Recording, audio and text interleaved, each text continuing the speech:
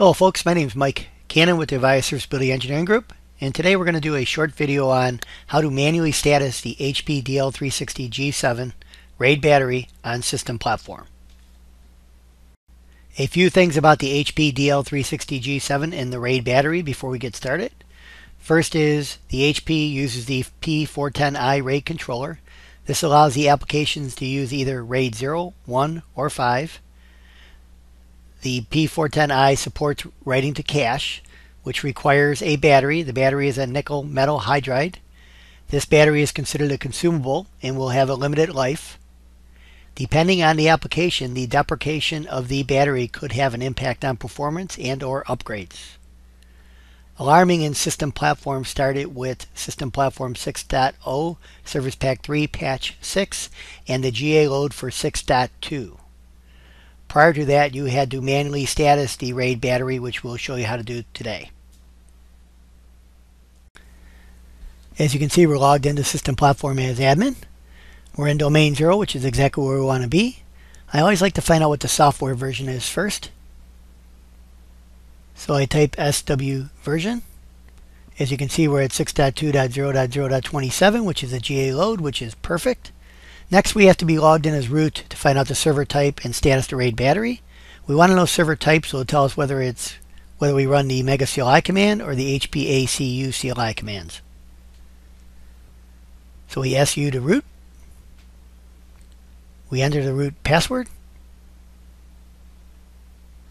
First, we're going to run a command to determine a server type. So we type in DMI decode space dash S space system dash product dash name. It tells us it's a ProLiant DL360G7. So we'll use the HPACUCLI commands. First, we're going to have to change our directory. So we change our directory to forward slash USR forward slash SBIN. Next, we're going to type in the command to status the RAID controller and battery. So we type in period forward slash HPACUCLI space controller space all space show space detail. There are six things we're going to look at on this page. The first thing will be the controller status. And if again, if that's okay, that's a good thing. So we're okay. The next thing we're going to look at is going to be the cache status. The same thing applies to that. Again, okay is good. Below that is accelerator ratio. The default of Avaya standard is 25% read, 75% write. If you see a 100% read, zero write, it's pointing towards a bad battery. You want to check further into it. Anything other than that, somebody manually changed it and they shouldn't have.